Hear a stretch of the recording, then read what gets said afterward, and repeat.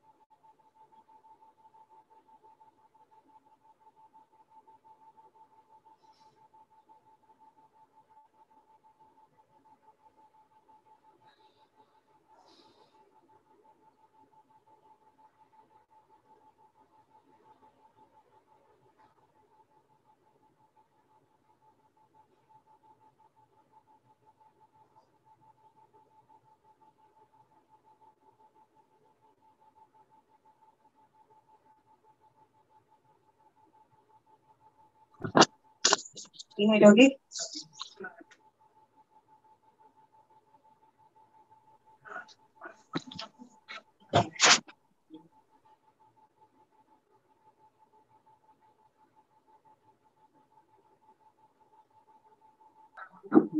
Leads.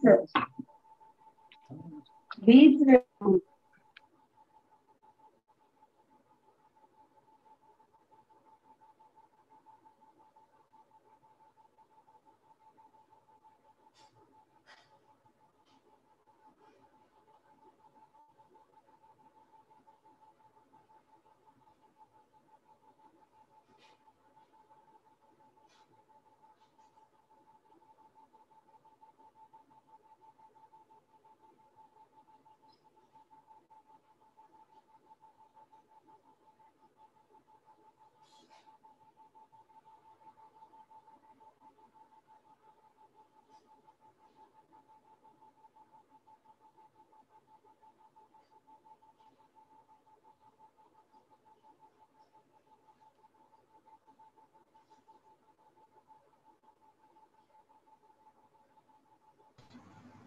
Hi, Ankit. Yeah, hello. Hi. Hi. Hi.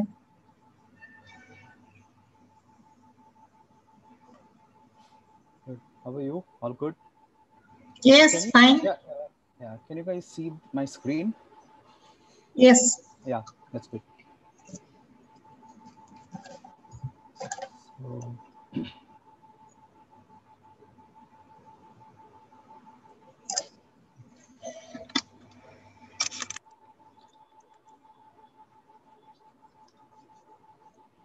yeah, so I think uh, when we start, uh, whoever has any questions, uh, feel free to put them in the chat box.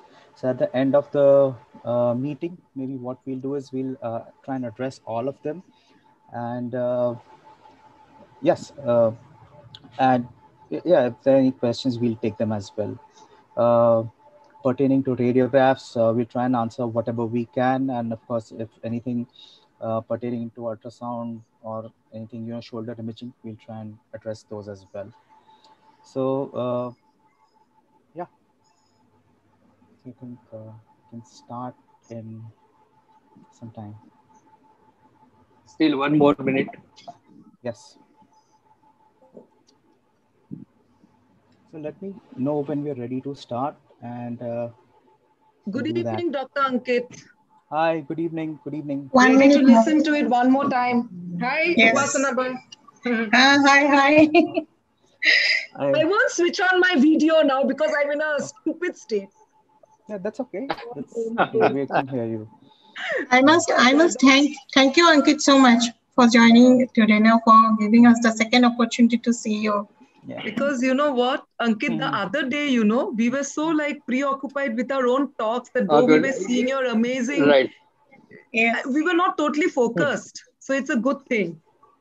In fact, I was telling my husband also that you have to listen to Ankit's talk. I mean, you know, you have Oh to God. see these x-rays. These x-rays, I mean. So he'll yeah. be sitting so I. I, oh, that's good to know. Uh, so yeah, I think they're pretty important, at least as far as uh, you know ultrasound goes. Yeah. And I uh, even right now, I feel it's absolutely suicidal to uh, scan the shoulder, at least shoulder, uh, you know, while we're uh, without having a look at the radiographs. In fact, it makes me very jittery if the patient just walks in without a radiograph still. So Yes, yes. Most But of you know them, what? most of them without any X-ray. yeah, They came, they say कि uh, doctor ने दे दिया नहीं तो X-ray नहीं किया बस And ultrasound. one more thing, your outlet views are so perfect. I mean, you know, Ankit, I mean, I've not taken Thank them in my patients So, ever. I uh, should try now. I- I Instruct my we should, uh, radiographers, na? Upasana yes, we- they've done it. Ah. He's done it so well. no, Mm, should, I, I, I'm thinking I will try it myself. No, no, I'm we should thinking that Ankit. I will try the X-ray myself, doing the X-ray. So, no, At least the should, uh, outlet view. No, you, you have to tra- you have to train your you technicians. have to You know? train them. Yeah, I have to train them. but I I have to because, uh, Yeah. I That's should be what. along with them. So Yeah, yeah. So, uh, you, yeah. yes. So I think uh, we can start.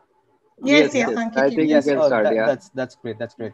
All right. Uh, good evening, everyone. Uh, thank you so much for joining in. Uh, you know, for a humble talk on, uh, you know, the humble radiograph of the shoulder.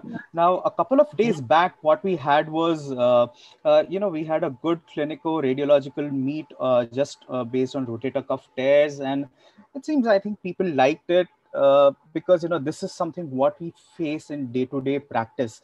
Uh, so with that, let me just start with a case. You know, this is a, a, scenario which you know all of us will face at some point of other, because you know we say that you know we, once you've gone to the orthopedic surgeon and you know you have told them that you know why don't you send it to me? You know I can help you with that. Uh, uh, maybe you can uh, choose ultrasound over MR. You know, give it a shot. Uh, let's see how this works. So he's just going to send you something. you know something bizarre. He's not going to care whether you know you're a you're a beginner or you're an advanced level.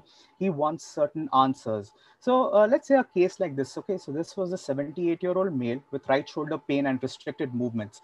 He had some history of uh, you know parkinsonism or dementia which you know none of us were sure of. Even the orthopedic surgeon wasn't sure of. And he the orthopedic surgeon had done a closed reduction for the posterior shoulder dislocation 3 days ago and now uh, because the patient was unable to undergo an MR because he was moving too much, uh, you know, they just uh, said that fine, uh, you know, we cannot do the MR. Why don't you uh, try something else? So the shoulder surgeon he sends that okay, you know what, this was a patient with posterior dislocation, I want you to do an ultrasound. The first thing, you know, what we teach in conventional uh, uh, teaching for ultrasound is that, you know, if it's an internal derangement of joint, which is shoulder subluxation, dislocations, labral injuries, ultrasound is really not the uh, uh, not the modality to uh, uh, you know for shoulder. But then he tried to convince me. He said that all right you know i know he has a dislocation. I know he cannot do an mr can you at least tell me whether the subscapularis is intact or not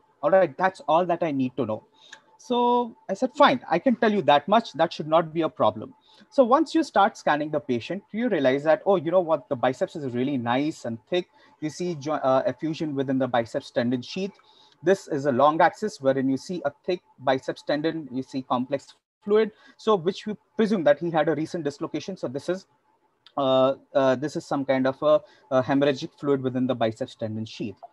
The problem starts happening when you see something like this. You know when you start going to your bony marker uh, uh, uh, bony landmarks that you know i'm not finding the lesser tuberosity. Hey where's the lesser tuberosity? Uh, why is the glenohumeral joint looking like this? I'm not finding the why is the why is there so much of fluid? Why is the glenoid looking like this? I'm not used to seeing the glenoid uh, uh, you know so well so and then you know you turn to the patient hey where's your radiograph he said uh, you know, I have the radiograph, but it's in the car. I didn't bring it. I didn't think it was important. So I said, you know, you have to get it because, you know, without that, it's absolutely impossible for me to scan you. So in the meanwhile, you start scanning. The first thing that you see over here is you try and identify your bony landmarks. So that's the humerus, that's the glenoid, that's the cartilage. You see the biceps. And, uh, you know, when you do uh, kind of zoom in, this is what starts uh, making sense. You scan up and down. So that's the biceps, that's the subscapularis, and that is the anterior joint capsule. You do see some discontinuity uh, within Excuse the joint me, capsule. Yes, uh, yes, yes. I can't see you uh, yeah. screen. Yes, you can't? Yes. Now can you see the screen? No. Hello? No, no. We can still see the screen very you well. see the screen, right? Yeah, I can okay. see. Something. You see the screen, Ankit. Right. Okay, okay, it's okay. Yeah, yeah. I think it's becoming. Right. I don't know. Right. Something happened. Yeah, yeah. Okay. All right. So, uh, so, yeah. So this is what we see that this there's a discontinuity in the subscapularis and the capsule, but still, you know, not very convincing. You don't know what's happening. The next thing what you do is, uh, you know, go go back and see that you know you realize there's something happening within the joint, and this is what you see. You're ideally used to seeing the scapula, uh, uh, the glenoid and the humerus in one line. And, uh, but then over here, the, hu the humeral head is significantly jutting out. Uh, that's the infraspinatus. Okay, so that's the scapula. I'm not seeing the glenoid rim. That's the humeral head that I see. And if you look at this is an infraspinatus, this is a tendon. The tendon is nice and intact. Uh, so by that time, the patient has already brought in his radiograph. This is a post-procedure radiograph. And this is what we see uh, you see that there is some fracture over here. There's an osseous fragment. But however, since this was a post-procedure radiograph, you see the Moloney's line is nice and intact and everything looks good. There is some calcification, possibly an osseous avulsion injury. We don't know what's happening. And this is a glenohumeral joint, which looks pretty okay. And there's some fracture somewhere. So what are your thoughts? So is this an osseous Bankart's lesion, which is like, you know, a chip from the glenoid labrum, since he's had, we know that he has a history of uh, uh, uh, history of dislocation. Is this a Bankart's lesion with persistent humeral dislocation? So, all right, the the radio, uh, the orthopedic surgeon has said that fine, I have done my job, but then uh, you know this was a radiograph which was taken three days back, immediate post procedure. But now what are we seeing? We're seeing some kind of a derangement of the joint. Is this radiograph suggestive of, of a massive cuff tear? Or the next thing is, is this a, a Hill-Sachs lesion somewhere? So possibly there's something happening in the humeral head. We don't know. So uh, this is what I would like to start my talk with. You know, we as radiologists, uh, you know, we are good at diagnosing dysplasias, you know, bone tumors. But as far as internal derangement of the joints is concerned uh, uh and soft tissue abnormalities is concerned, we have some catching up to do. Because, you know, the the shoulder surgeons are pretty good at it. And uh, so uh, you know and if you're doing ultrasound you know uh, x-ray can be a really a good friend of yours and it can help you in a long way. So if you are a beginner uh, uh, you know there will be certain pathologies like you know massive cuff tears, calcific tendinosis, fractures, uh, you know, severely arthritic shoulders, and so on. And this you will be easily be able to pick it up if you have a look at the radiograph, if you know what to look for. And even before putting the probe, you can say, oh, you know what, this patient already has a massive cuff tear, or this patient probably has a full thickness tear. So even without putting the probe, you have a rough picture of what you might be getting into. So during the outline of my talk, I will be talking about the radiographic anatomy and positioning. When I tell about uh, talk about positioning, I will be talking about some four basic views which we uh, use in our day-to-day practice almost 99% of the times. I will not talk about the other nine views. Uh, I will be talking a little bit on calcific tendinosis, uh, how X-rays can help. Uh, you know, I will be discussing radiographic markers, which are pathognomonic for rotator cuff disease, which means there are well-established uh, signs on x-rays which when you look at it and you know you say you, you know what there's something wrong with, the rotator cuff and i should carefully look for it uh, while i'm scanning on ultrasound and of course i will be talking about rotator cuff tear arthropathy which is a, a well-known entity among shoulder surgeons uh, but then uh, you know, as far as radiologists goes, we most of the times we end up reporting as degenerative changes or osteoarthritis and so on. So uh, let's start with the routine AP view. What we do is the patient is just lies parallel to the cassette. You uh, point at the glenohumeral joint, and this is uh, you take the X-ray. It's good for, to look for overall glenohumeral alignment. You know, you see the nice uh, Moloney's line over here. Uh, you look at the acromioclavicular joint and the distal clavicle, and like uh, our case, you know, if you would like to see if there's some internal derangement, you can see the posterior glenoid rim. You can see the anterior glenoid rim and uh, you will be able to see this nice spear shape really well. Uh, next view is this is what we know we have started doing. In fact, we've been doing it for a long time, and this is what the shoulder surgeons or the orthopedic surgeons would ideally want us to do, and this is what ideally we should be giving. So this is known as a true AP view. You can also call it the Grashey's view or the glenohumeral view. In this patient, uh, what uh, uh, in this view, what we see is you see the nice glenohumeral joint space really well. This is a cartilage space. You see the greater tuberosity in an uh, en face uh, uh, view, which is seen as a nice flat structure. And of course, you can easily measure the acromioclavicular much more easily. So in this view, what we do is the patient is asked to stand at an angle of around 35 degrees, you know, to the cassette and the arm in the neutral position so that in such a way that the scapula is in is in plane with the uh, uh, uh, so so that the x-ray goes in the scapular plane okay? So the entire scapula is at an angle to the uh, uh, uh to the cassette and that's how we get a nice glenohumeral joint space over here. So this is the true ap view. This is the axillary view this is a standard view in which you know the orthopedic surgeons they ask for AP and axillary views. So this is the anterior part wherein which we look for the coracoid. Uh, this is a, uh, this is the acromion, that's the clavicle, and this would be the acromioclavicular joint. So in instability lesions, if the humeral head goes anteriorly, that's anterior subluxation, posteriorly the posterior subluxation. And of course, you can see the anterior and posterior glenoid rims pretty well. So if you don't know which is, you know, as a beginner, you wouldn't know, you know, which is anterior, which is a posterior, just look for the coracoid, uh, you know, the, which, whichever side is a coracoid, that's going to be anterior, of course. This is a supraspinatus outlet view. Uh, this is not routinely asked for, but this can be a very useful uh, view to keep in your armamentarium if you're unable to get the axillary view. So what this view shows you is it shows you the subacromial space. So this is a space, uh, you know, uh, which is uh, uh formed by the clavicle and the coracoclavicular ligament. So that is entirely the coracoacromial arch. And if there's anything, you know, if there's an osseous spur or if there's a type three, uh, you know, acromion with a hook, if there's an acromioclavicular joint, you know, uh, due to osteoarthritis of the AC joint, if there's a prominent marginal osteophyte, it might be impinging on the supraspinatus. And of course, you can also look at the base of the coracoid uh, over here. That's, uh, uh, you know, the coracoid base fractures, you can see over here. And if you adjust your windows well enough, you'll be able to see the density of the supraspinatus muscle belly. So these are the things what you can look for a supraspinatus outlet view. So one more thing is, you know, if the patient is in severe pain, you know, when the patient is in trauma, he's unable to do an axillary view uh, because, you know, they won't be able to abduct the arm so much. So this is a good view to take uh, they really don't need to do too much of abduction and you'll be able to figure out whether the humeral head is anteriorly dislocated or posteriorly dislocated. So this is uh, something to keep in mind. So this was one 63 year old female with uh, night shoulder pain since uh, two months. You have to realize that each view is going to give you a separate set of information. And, uh, you know, when they ask you just give me one uh, x-ray shoulder uh, maybe you know we should try and get one view and let's see which one gives us the best amount of information maximum in information. So on the true uh, uh so on the routine ap view what we can see is we can see the acromioclavicular joint pretty well. Looks like uh, some kind of a, a, little bit of acromioclavicular joint uh, osteoarthritis. We see some marginal osteophytes.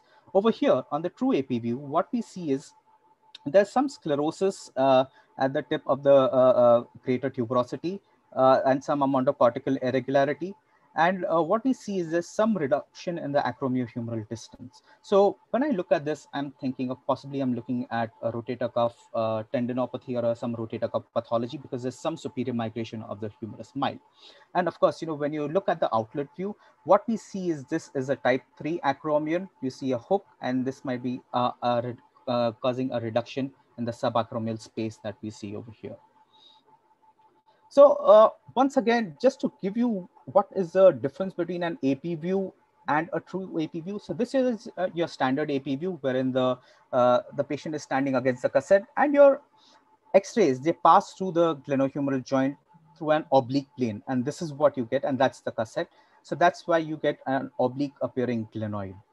And this is a true AP view wherein the, uh, the patient is standing at an angle and your uh, uh, and your X-ray beam will pass parallel to the glenohumeral joint, and that's when you get a good profile view of the glenohumeral joint. Okay, so uh, maybe you know you will have to teach your technicians to do it, but then this is what we should all be trying to uh, uh trying trying to achieve. You know, if we want to make good diagnosis on as far as rotator cuff tears are concerned there's enough literature wherein you know there was a, a, really nice study in the journal of shoulder shoulder and elbow surgery wherein they said that you know the true ap view is more sensitive for detection of pathognomonic findings of rotator cuff tears you know they uh, uh, they checked out the uh, basically what they did is they compared the routine AP view versus the true AP view, and they said that the true AP view is much much superior to that.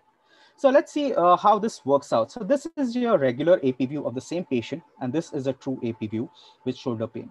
So what we see over here is, yes, there is reduction in the acromiohumeral distance or acromiohumeral interval, but uh, you see this little bit of rounding of the greater tuberosity, but you're really not sure if there's something happening. So this is the true AP view, wherein we get to see that there is a definite reduction in the acromiohumeral distance. There's a lot of sclerosis over the GT, And one more thing, what we can tell the shoulder surgeon is compared to this side, compared to the routine view, that you know the glenohumeral joint looks pretty okay. It's there's no significant reduction. So on this true AP view, you can tell it with much more confidence that you, you know what the glenohumeral joint looks uh, pretty normal. Why they need to know this? Because it is going to have a lot of therapeutic implications. That's uh, what we'll be uh, seeing later on in this talk. So uh, in my view, the true AP view that you get is almost uh, is equivalent or it's in the same plane that you know when we take the coronal views for MR uh, imaging. Okay, so this is the nice coronal uh, image that you know that this is a plane in which we look for rotator cuff tendons. We look at the greater tuberosity. So this is a view that we get, and this is what it looks like on MR as well. So this is in that anatom anatomical plane. The true AP view will show the shoulder in. So this was one 47 year old male with acute shoulder pain since last evening. So uh, this is something like, you know, these are the kind of densities which as, uh, you know, radiologists, if we don't have access to history, uh, you know, we might either pass them off, uh, we might overlook them. Uh, we might report these as some uh, chondral lesion, or maybe we might put these as maybe some query bone island or query calcifications. But, you know, if you're around and you have a history, you might be able to say that, all right, you know, this is in the location of the greater tuberosity, uh, lesser tuberosity. Let's take an additional view. And this is where, uh, you know, the axillary view is really good. It helps you evaluate the lesser tuberosity. And if there's a calcification in the subscapularis tendon, this is the view that you should be trying to take. Okay, so this was a nice calcification which was there in the uh, subscapularis tendon. So uh, what does a radiograph show in calcific tendinosis. So what the radiograph will tell you is, uh, you know, if you're taking more than one view, it will tell you the approximate uh, location of the calcium. How big is it? So location of the calcium means, is it in the subscap? Is it in the superior cuff, posterior superior cuff or uh, posterior cuff? Uh, how big is the calcium? How dense is the calcium? All right, so if you see in figure A, the calcium is pretty dense. Figure B, you know, it's kind of partially fragmented and figure C uh, that we see over here, it's absolutely amorphous. So when you see this kind of calcium, or if you're planning to do some kind of an intervention, uh, you know, you will be able to tell the patient, oh, you, you know what, if I go in, I will be able to aspirate maybe this kind of calcium with, uh, you know, it's going to be a piece of cake. Uh, this kind of calcium, I might be able to aspirate more, most of it. This one, I might not be able to aspirate. What I will do is I will just do some needling and uh, inject a steroid and let it be. But I really can't promise you that I'll be able to take uh, take away all the calcium out. But uh, let me tell you that the density of calcium has uh, almost no correlation with the patient's pain. For all you know, this patient might be asymptomatic uh, or minimally symptomatic, whereas this patient might be absolutely, uh, you know, howling in pain and, uh, you know, must be in some kind of a pseudo paralysis. So that is one thing. Uh, about talking about calcium migration, we saw in the talk a couple of days back that what we see is, you know, once the Uh, uh, uh, once the pressure within the tendon increases, you have that uh, the calcium kind of you know comes out like a toothpaste or a volcano, whatever you might say. So there are two places where it can migrate. Either it can goes along the bursal surface within the bursa. this is uh, ext uh, extruding within the bursa. This is another calcium which is extruding within the bursa. Or it can also go down within the greater tuberosity or the lesser tuberosity. So this is what happens that, you know, when the, uh, uh, when the calcium has an intraosseous extrusion. If you don't know, uh, if you're reporting an MR, you might be able to, uh, you know, you might possibly report osteomyelitis or something like that. Or, uh, uh, because there will be so much of marrow edema, it will look like an extremely aggressive lesion. Or if you're doing an ultrasound, you might completely miss this kind of calcium you know completely which is within the bone so this is a case where we wherein we see this you know this is intraosseous uh, calcium we see that uh, some kind of you know uh, calcifications in the region of the humeral head. And uh, this was the mr of the same patient. So this was intraosseous migration of the calcium. That's the calcium within the tendon. And there's over here we see a lot of marrow edema over here. Uh, just a moment please. Uh, one moment, please.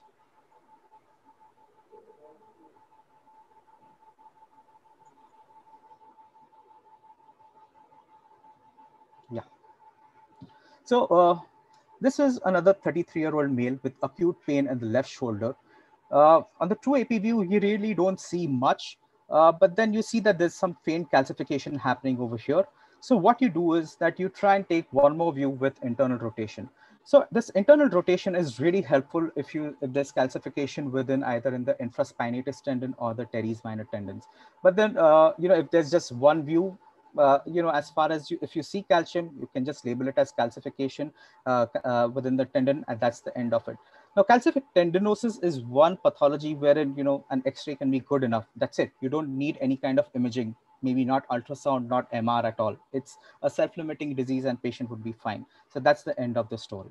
Okay, so that's uh, why it's important to, uh, uh, you know, a lot of time the patients, they will come with, uh, with an x-ray and then, you know, the, the physician has written that get an x-ray and an ultrasound done.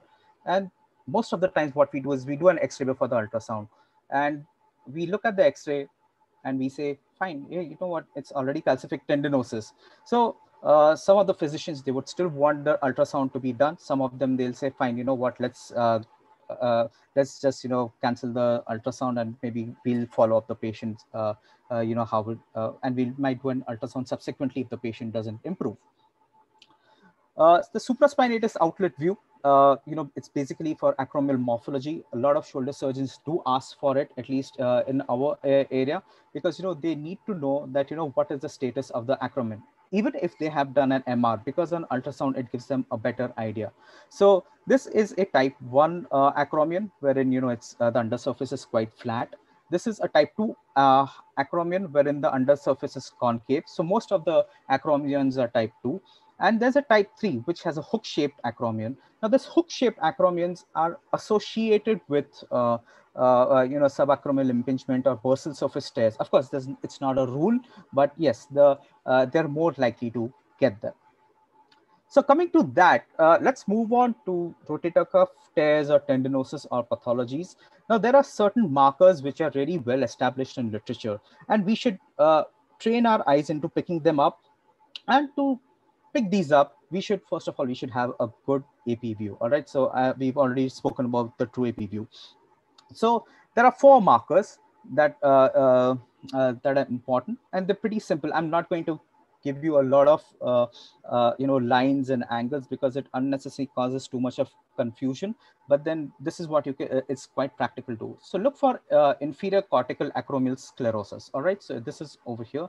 This is the inferior cortical acromial sclerosis. This is uh, also known as a Sourcil sign. Okay so this is one sign.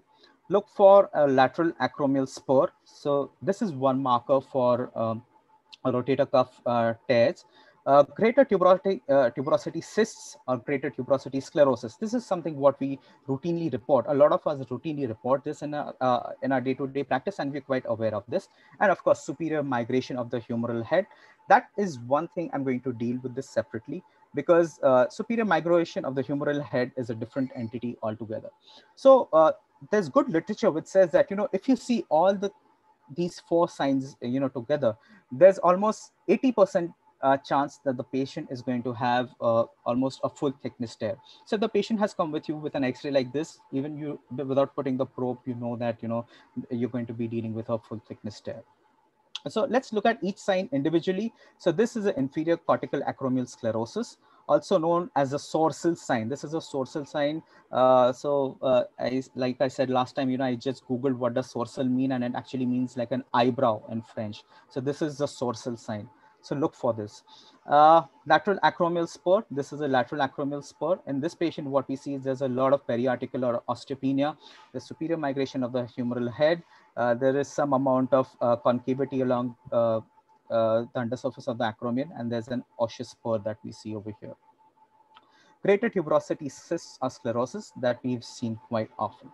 So uh, when I'm talking about superior migration of the humeral head, what I'm saying is, you know, the acromio-humeral distance, that is between the acromion and the humerus, the distance becomes less than six millimeters. So uh, uh, this is associated with rotator cuff tear arthropathy. Okay, so once you see there's a reduction in the distance, you have to start thinking that you know that maybe the patient has a high grade tear of the rotator cuff, and uh, you know he's going into rotator cuff tear arthropathy. Why is it important for you to know this? Because you know if the patient already has a humerus abutting the inferior surface of acromion, if you're going to do ultrasound, you might really not get your markers that easily because you know the GT will be abutting the uh, uh, abutting the inferior surface of the acromion. So you're going to have to struggle a bit with your technique. So rotator cuff arthropathy was described by Neer. So typically what happens is uh, there are three major components of the rotator cuff tear. Once it's going to be a massive cuff tear, wherein there's a large tear uh, uh, within the rotator cuff, of course, there's going to be reduced acromiohumeral distance, and there's going to be some kind of a glenohumeral arthritis that happens over here. Now, a lot of us, we use these terms massive tears, uh, you know, in the rotator cuff. We need to know what a massive tear actually is, all right? We need to know what it actually means in the arthroscopic parlance. Uh, massive tears is basically this complete detachment of two or more tendons, which means most often it is supraspinatus and infraspinatus, or maybe supraspinatus and subscapularis. So there's complete detachment. Or the anterior posterior dimension of the tear exceeds five centimeters. So anterior posterior uh, dimension exceeds five centimeters. If you're going to measure from the uh, biceps posteriorly, that means that if it's more than five centimeters, that means it's at least involving supraspinatus, infraspinatus, and a part of part of teres minor. Yes, then it's a massive cuff tear. So for this, you need to know what are the pathomechanics mecha pathomechanics uh, mechanics of rotator cuff tear arthropathy. So what uh, the supraspinatus or the rotator cuff does is, you, you know, you you even if you have a full thickness rotator cuff tear, you will still be able to abduct your shoulder. That's not a problem at all, you know, as we've seen a lot of patients. So the deltoid can do a lot of functions. It can cause forward flexion, extension, and abduction as well. What the rotator cuff does is, while the deltoid is uh, pulling the arm superiorly and laterally, what supraspinatus does is it pulls the shoulder in such a, the humerus in such a way that it keeps centered within the glenoid, all right? So this happens in the coronal plane. On the axial plane, if you see the subscapularis and the infraspinatus, they work uh, uh, uh, antagonistically, so uh, or rather synergistically. Sorry. So when the supraspinatus uh, subscapularis uh, contracts, infraspinatus relaxes, or when the infraspinatus contracts, subscapularis relaxes. So what happens is instead of the humerus going anterior or posterior, it is maintained within the glenoid. So the function of rotator cuff is to keep the humeral head depressed and centered in the glenoid fossa. Uh, so this is what happens. So if you have a tear, if you have a large tear, while the deltoid is trying to abduct the shoulder, what will happen is uh, there will be no muscle trying to restrain the humeral head and it will go and abut against the inferior margin of the acromion. If there's a full thickness tear of the supraspinatus, infraspinatus, and uh, biceps, you know, I'm just giving you an uh, example. What will happen is there will be the humerus humeral head will migrate antero superiorly so this will be this is what is known as an antero superior escape. Uh, you know this is typically seen in patients You know if you try and do them they'll be able to uh, you, you will see the shoulder popping out. So this is a patient with a massive cuff tear. That's the glenohumeral joint. The infraspinatus is torn. And what we see is that there's some posterior subluxation happening uh, of the humeral head. So this is what we start seeing in, uh, uh, in massive cuff tears. Now, the radiographic features of rotator cuff tear arthropathy is, you know, we've already spoken, the superior migration of the humeral head. Uh, what you see is there is, uh, you know, due to chronic abutment of the humeral head against the acromion, you start seeing there will be a concavity happening. So uh, you end up getting, along with the acromion, you get, you know, along with the concave acromion and the glenoid, you start, this is known as acetabularization of the glenoid, all right, acetabularization. It starts looking like, uh, uh, you know, it starts looking like an acetabulum. There will be erosion of the greater tuberosity. So over here, if you see that the greater tuberosity has completely remodeled and this looks like a femoral head. So it's going inside and it's almost looking like a femur and then it forms into a concave cup-shaped kind of a cavity. You will see osteopenia. There's a crystal mediated th theory as well. So what happens is because of the pain, the, pa the patient does not move the shoulder, and then that leads to uh, uh, uh, uh that uh, leads to osteopenia, that leads to reduced flow, and so on. And because of the deranged pathomechanics, you will have glenohumeral arthritis as well. So uh, what the shoulder surgeons do is they know that there is one uh, classification. They use it quite often which is known as hamada's classification. And they use it quite often to do some decision making. Uh, they do it on the true ap radiographs. And what the hamada classification does is it represents temporal evolution in cuff tears it tells you at what stage what is happening. So there's a stage one where you know the humeral uh, uh, the acromihumeral uh, interval is maintained. So you might just see maybe a, a, a GT sclerosis wherein the, uh, uh, you know, there's no superior migration. Stage two, wherein there's superior migration of the humeral head. Stage three, you will see acetabularization. Now, stage four is where the glenohumeral arthritis sets in. And this is going to be, uh, uh you know, this is going to, uh, uh, you know, affect, you know, what kind of treatment the patient will be offered apart from a simple rotator cuff, you know, a simple rotator cuff repair. And the fifth as last stage is a humeral head collapse. So let's see how the Hamada stage goes. Of course, you don't have to know which stage actually is, but maybe if you know at least it's stage two, three, or four, it's going to be really helpful. Fine. Stage one is pretty simple. Uh, you know, that's, you know, your acromiohumeral interval is more than six millimeters. Okay. So this is true AP view. Now, all this classification is in the true AP view. So this is what we should be doing. So you see that there's some sclerosis happening over here. You see a Sourcil sign, the GT looks pretty okay. But on the MR, you see that there is a full thickness, uh, there's a massive tear, supraspinatus tendon is torn and infraspinatus tendon is also torn. So this is a massive cuff tear, but still stage one. Stage two is where there's a reduction in the acromiohumeral distance. Uh, the acrom undersurface of the acromion still looks pretty good. Uh, so this is case one where you see the reduction in the distance. And over here, apart from reduction in the distance, uh, you see some, there's some kind of a greater tuberosity sclerosis happening over here.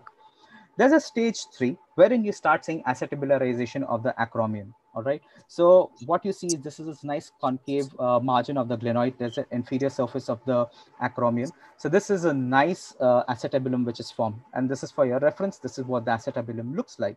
And uh, you see that there's some uh, remodeling of the greater tuberosity and this looks like you know the femoral head is sitting within the acetabulum so this is acetabularization of the acromion so this is stage three now stage four is characterized by you know all of that what we said plus the glenohumeral arthritis. So if you don't remember stage 4A and 4B, that's absolutely fine. But if you see superior migration of the humeral head and you see glenohumeral arthritis, think of a stage 4. So uh, you know, so this is glenohumeral arthritis without acetabularization. So this was this new classification 4A and 4B, they subdivided. And 4B uh, is glenohumeral arthritis along with acetabularization. So what we see over here is uh, uh, there's a concave undersurface of the acromion, uh, superior migration, you see osteopenia, you see that there's some amount of reduction in the glenohumeral joint space as well. And when you look on the MR, what you see is you see a lot of synovial hypertrophy, joint effusion, and reduction in the acromiohumeral interval. And of course, there's this full thickness tear that we see. Another patient, similar uh, findings. This is 4B, reduction in the acro, uh, acromiohumeral distance, spur formation, uh, GT sclerosis. Uh, on MR, we see synovitis with joint effusion, and uh, so on. And the humeral head is abutting the acromion completely. Stage five is something what we don't see that often. Thankfully, the patients don't go that far. So what you see is there is a flattening of the humeral head because of avascular necrosis, and uh, you see uh, osteophytes as well. Now, this is one stage which, you know, uh, if you give me this radiogram, I don't think I'll be able to differentiate between, uh, uh, uh, you know, between glenohumeral arthritis or a neuropathic joint and so on. Yeah, so that's where, you know, additional imaging features will come in. So, uh, you know, one clue that we see is there's a reduction in the acromiohumeral interval that we see over here. So that's a rotator cuff arthropathy stage five.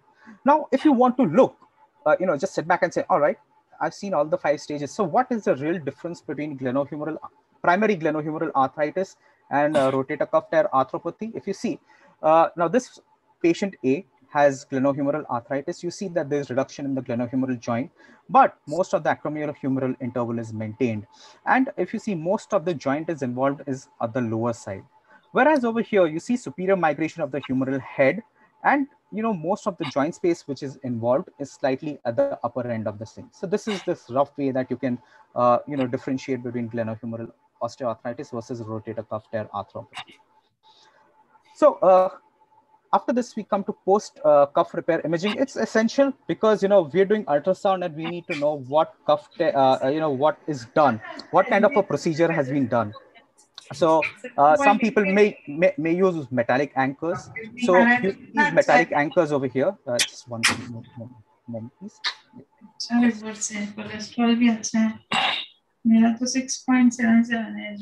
Yeah.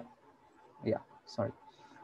Uh, Sorry for the disturbance. So yeah so they either use metallic anchors or you they use bioabsorbable anchors. So uh, over here uh, because you know while we're doing ultrasound you're not going to be seeing anchors and you might start searching for them. You don't know oh you know where are the anchors gone? So this is a metallic anchor. Yeah it's slightly more deep place. they have migrated because of osteopenia. So this is what a metallic anchor or a radio uh, dense anchor looks like. And these are bioabsorbable anchors. You see that you know you won't see those anchors but then if you look at the tracked, uh, you know, you look at the operative notes, you, retrospectively, you will be able to see that. So it's very important for you to go through the surgical notes before doing an ultrasound so that at least, you know, these are the kind of uh, tracks uh, or the anchors which you will be very easily will be able to see on ultrasound as well.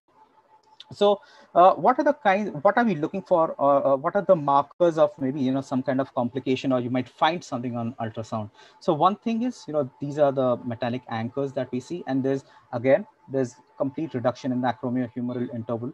For some time, you know, after the surgery, uh, you, you, know, uh, the acromion-humeral interval is partially replaced. But then over here, there's significant narrowing. So this patient had a, a re-tear of the supraspinatus tendon. Infections, so, uh, uh, uh, you know, if the patient has those typical clinical symptoms and the patient has been sent to you to look for a collection, it's a good idea to look at the radiograph. So what we see is this is a metallic anchor and you see that there's some kind of, you know, uh, lysis which is happening around the anchor. So even without putting the uh, probe, at least you know that, you know, you're going to see a lot of GT irregularity and maybe you might expect something over here. And of course, there's a lot of reduction. Uh, uh there's a lot of, uh, you know, increase in the glenohumeral uh, and the acromion-humeral interval. Uh, and there's some amount of subluxation also happening, which might point towards a lot of a large joint effusion as well. Uh, this was another patient, uh, you know, with again with infection. You see some lysis in the GT, and what you see over here is, you know, the anchor has completely dislodged. So uh, let's see, I would have started scanning this patient even without looking at the radiograph. I see, I, you know, I start wondering what this is, what this is. There's no way that, you know, I could tell the orthopedic surgeon with confidence that, hey, you know what, the anchor has come off unless you show him this picture. So that's when, uh, that's where radiographs are pretty useful. Now, uh, coming back to management of rotator cuff tear arthropathies, it depends at what is the age of the patient and what is the functional demand of the patient and how bad is the tear. Okay, so uh, you know, uh, for rotator cuff tear arthropathies, if it's a complete, uh, uh, you know, first what they will try and do, they will try and do a complete rotator cuff repair. They'll try and bring the cuff back and they'll try and put it at the footprint and they'll repair. If the patient has a low physical demand, they're not doing really much work, not much uh, driving, just being at home. They might try and bring the cuff back and maybe repair it at the edge of the greater tuberosity or maybe on the humeral head.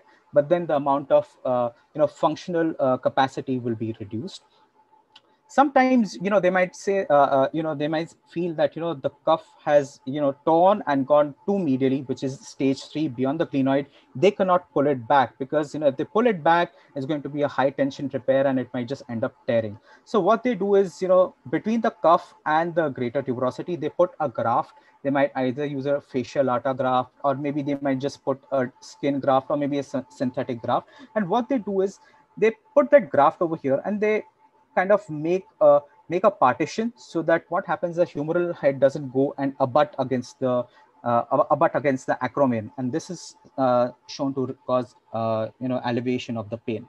And of course uh, you know the last resort is tendon transfers which in you know uh, they talk about uh, transfer of latissimus dorsi and pectoralis major tendons. But this is not something that commonly done Instead, what has come into fashion is, you know, they start doing reverse shoulder arthroplasties.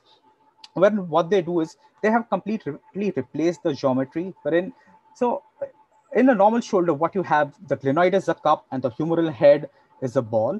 So what they do is uh, they replace it in such a way that the glenoid becomes the ball and the humeral head has a cup. So this is your reverse shoulder arthroplasty. And for this, uh, uh, the, this kind of uh, surgery is typically done for patients who have irreparable or massive cuff tears. The only requirement what the surgeon needs is the patient should have a functioning deltoid muscle. So that is one thing they need to have. Uh, the patient should have a good deltoid contraction because then this kind of a, uh, surgery is going to happen only when the deltoid is functioning. So this is typically indicated in populations more than 65 years uh, uh, older with low functional demand uh, irreparable cuff tears and patient with uh, advanced rotator cuff tear arthropathy. So typically stage four, because you know they will have to address the glenohumeral arthritis as well. Because in stage four, if they just repair the cuff and you know they don't address the arthritis, the patient is going to come back to them. But now uh, you know the indications are also changing and a lot of people have started doing reverse shoulder arthroplasty so that's where it's really important so uh, to conclude uh, you know, the radiographs can be indicative of underlying rotator cuff pathology. So they can tell you a lot of stuff. So uh, especially for us doing uh, x-rays, uh, I mean, ultrasound x-rays are going to be really, really helpful. I would advise or maybe, you know, uh, kind of push you guys, you know, to start doing true AP views or the Grashey's view because you know uh, that's really uh, what is expected out of us nowadays uh, evaluation of radiographs prior to a shoulder ultrasound is absolutely rewarding. You should see if you uh, if the patient doesn't have there's really nothing that you can do. But if you have a, a, a if you have a tough case you really don't know what's happening and you have a facility of an x-ray uh, i really think there's no harm in taking that one extra extra x-ray. Because you know that's going to really make uh, a lot of difference to the patient. See at the end of the day the surgeon is really not asking you to make a diagnosis of rotator cuff tear or tendinosis. He's asking you for an answer. If your report is going to uh, address all his questions, then yes, you're the uh, you're the king for him, and you know you're going to be getting a lot of work that way.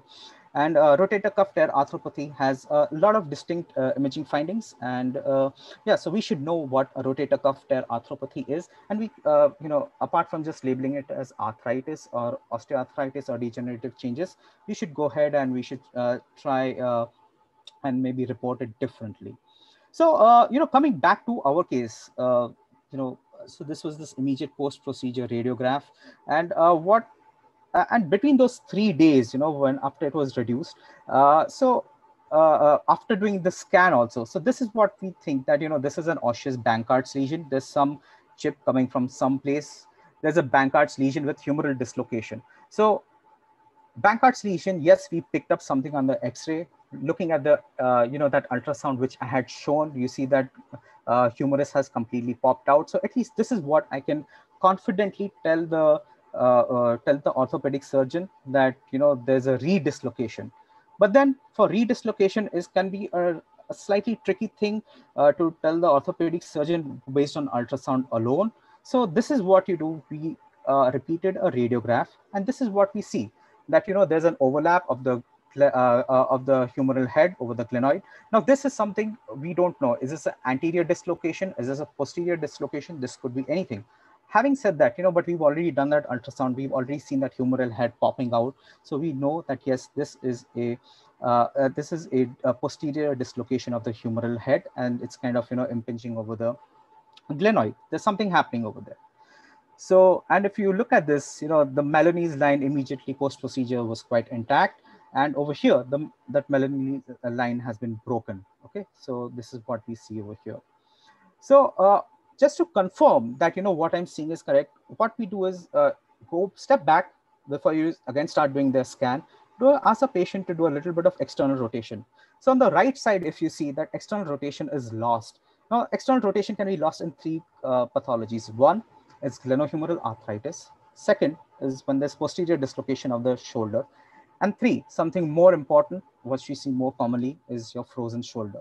Now we already know that this patient has had a posterior dislocation. So it's most likely that the patient has had a posterior dislocation again. And uh, yeah, this kind of uh, tells me that yes, we're dealing with a posterior dislocation. Uh, so this is what we see. And on, on the dynamic scan, when he's trying to do uh, external rotate, the humerus is not really rotating, but then it's just kind of moving out.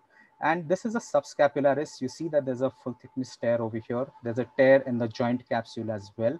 And uh, the glenoid is, uh, uh, you know, the glenohumeral alignment looks is looking pretty funny. And when you evaluate the patient from the posterior aspect, uh, this is what you see that, you know, uh, the humeral head is kind of impinging over the glenoid rim and uh, kind of, you know, there isn't really much external rotation happening over here. So by now, by looking at it, I know that this is a subscapularis tear with the tear in the anterior joint capsule. And uh, uh, just to make sure that, yes, so I already know there's a subscap tear. And what I do for confirmation is ask the patient to do a belly press test. So this is the contralateral side. He's able to do a belly press test. But then on this side, what he's now this is what he's doing is a little bit of cheating he's just pressing but then when you ask him he's unable to do the belly press test so this is one sign all right you ask the patient to just press the belly if the patient is unable to do a belly press test that means you know the patient has has a subscapularis tear you know the subscapularis is not functioning so the ultrasound findings are there's posterior dislocation of the humeral head with engagement uh, along the posterior glenoid rim there's a full thickness subscapularis tear with osseous avulsion of the lesser tuberosity. So that fragment that we were seeing was from the lesser tuberosity. And there's full thickness tear of the supraspinatus. And of course, tendinosis of the long head of biceps. Uh, in his setting, the orthopedic surgeon might not really be too interested in. So next thing, what you do, you ask for a, a CT. And this is what CT is really going to help you. It, it will show you the bone loss. It shows you the, the alignment of the humeral head along with the uh, glenoid. And this is what we see, that this is the humeral head a large reverse Hill-Sachs lesion and it's kind of Im impinging. So that's why you know the patient is unable to do any kind of uh, an external rotation. And this is what the 3D CT shows. There is posterior dislocation. You see that fragment over here, it's coming out from the lesser tuberosity. So uh, the CT findings are going to show posterior redislocation uh, with uh, engagement of the humeral head along the posterior glenoid rim. And there's a large uh, reverse Hill-Sachs lesion in the humerus. And of course, fracture of the posterior glenoid rim. So this is going to tell the surgeon that, okay, you know what, I need to uh, now go ahead and fix the subscapularis because if I don't fix the subscapularis, it's, uh, you know, this patient is going to have a redislocation at all. So uh, yeah, I think this brings an end to my talk. If there are any questions, uh, you know, I'll be happy to answer if there's anything.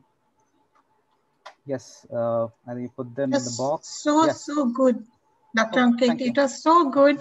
And I have learned so many things. I, and I definitely I will try to bring out such Yes. type of X-ray. I don't know I will be able or not, but I'll try to do it. Great, great. That's And uh, Nidhi ma'am has joined Ankit Galaxy Yes. Note as Galaxy Note. Can you? Galaxy Note. Yeah, okay. One more, one moment, please. Um, Yeah, just a moment. Yeah, I've made her the co-host. Yes, Hi, Ankit. yes. Hello, ma'am. Hi. Hi. Lovely. Yeah. Absolutely fantastic. Thank you. Thank So you I just Yeah. had I just had one question Mhm. that when you say when you say that we take um, AP view, would Mhm. you suggest? Can you hear me? Yes, yes, I can. Yes. Yeah. Yes. So would you suggest? Would you suggest that we take both the shoulder X-rays? I mean, in one view, both the shoulder joints. Uh, it might not be possible because you know if you have to take both the shoulder joints in one view, the patient will be uh, will end up uh, you know standing uh, kind of parallel to the cassette. Where in this Mm. side, if I'm trying to do a tr- uh, true AP view, I will be like Mhm. this. If I'm trying to do a shoulder, I will be doing like this. So if you're trying to get both the views, then it it might not happen that way. I was I was just thinking that in early stages where you said grade one, grade two, Hmm. and we have a little bit of confusion because you have that Yes. osteitis, a bit of flattening of the. GT, sclerosis, and you want to Yes. find out. So if we have both the views, maybe it would help us to understand better. That was just one my thought. That's all. Yes. Yes. But uh, yeah, I guess AP view is something where uh, I would just like to make one comment. Usually, what happens is that when the patient is standing and you're seeing that X-ray, you're not very sure. So it's just Mm. that the anterior and the posterior margins of the glenoid should overlap.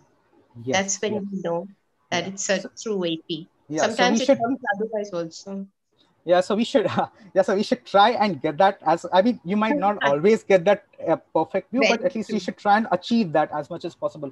So it's just that you know uh, then all your measurements about having the acromiohumeral interval and everything all that will fall into place. You will be able to do it much more confidently than what is actually uh, uh, you know on the maybe you can try it tomorrow. You know, when you go, just take a routine AP view and try and see measuring the acromiohumeral interval.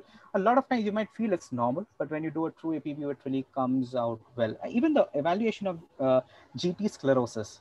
Now, uh, having said that, this calcific tendinosis can be absolutely, uh, uh, you know, tricky because I, I know it, that one view is not always sufficient. It might not tell you always. You might need one extra view, but then uh, you know if it's strongly suspected, or uh, you know if you have a patient who's come for uh, an ultrasound as well as this, it might well uh, might as well take one extra view after doing the ultrasound if you pick it up on that.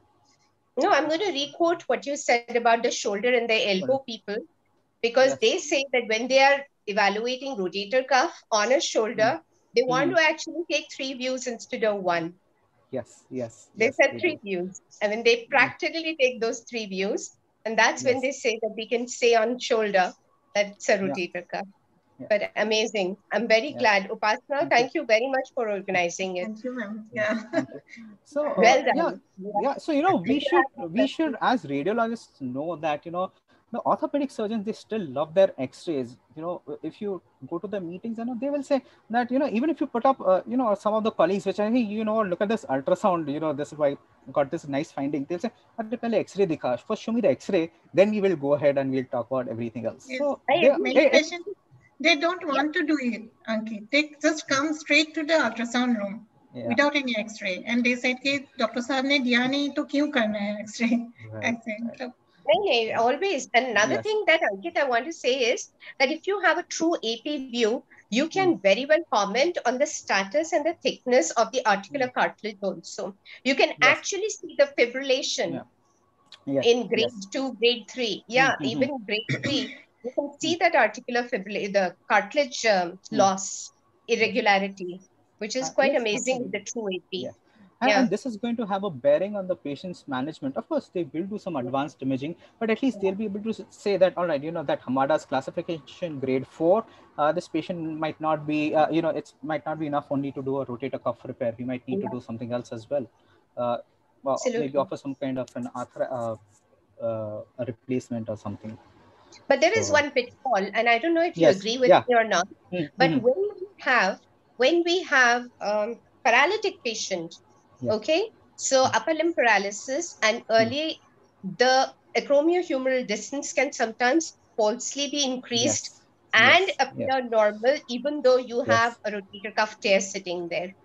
Yes. So yeah, actually, you have a point. So even in uh, uh, uh, you know patients with large joint effusions, voluminous uh, effusions, Yeah. you know, you see Yes. that it there's a significant increase in the in the acromiohumeral distance. Then the glenohumeral, you feel that it's all subluxated and so on. So Absolutely. yeah, so I, I think yeah, that combination uh, with ultrasound or additional imaging with uh, so X-ray has its value, a lot of value, and Absolutely. uh, uh, and I think I think the greatest value is in differentiating whether sometimes you can feel that there are cortical defects which are actually just irregularities of osseous changes there. Hmm, Then of hmm. course the acromion. Then uh, you know, so all in all, it gives great bony landmarks. And of course, you've done a fantastic job of bringing it forward. Absolutely ma'am. wonderful. yes, I'm going to leave thank with you. some other questions if are there. I'm not going to hog the time. Yeah. So if there are questions, yeah. please Hello, go right ahead. hello Ankit. Yes. Hello. Hello. Hello. Hello, yes, yes, Ankit. yes. Hi. A great talker. Thank you so much for taking this uh, Yeah. repeat session for us. We missed Right. that day session. And one thing I wanted to ask, Ankit, uh, uh, routinely uh, orthopedic surgeons specifically ask for true AP view. yes. In, yes. in certain cases, we go for it. Yes. Otherwise, what is your advice if patient is coming for AP lateral? Mhm. A physician must maybe Hmm. asking or a general practitioner or maybe ortho. Do you recommend to take additional true AP view in for all the patient AP lateral? So, so good question. So in our practice, what we do is AP view means a true AP view. Uh, uh, see, ultimately you have to realize that even if a physician is sending it to you, subsequently the patient might land up with an orthopedic surgeon. So he's going to carry your X-ray over there. So if you're doing it, so a true AP view, this is what we do. Uh, we always uh, do. We try and get the true AP view as far as possible, and uh, as far as lateral view, we do an outlet view. So true AP view is a AP and lateral is an outlet view. So yeah, that's what we do. So, uh, so if you're Thank you, taking an. AP view, get a true AP view. This is what we follow in uh, Okay. practice. Yes. Thank you, Ankit, so much. Yes, yes. All right. So, pleasure.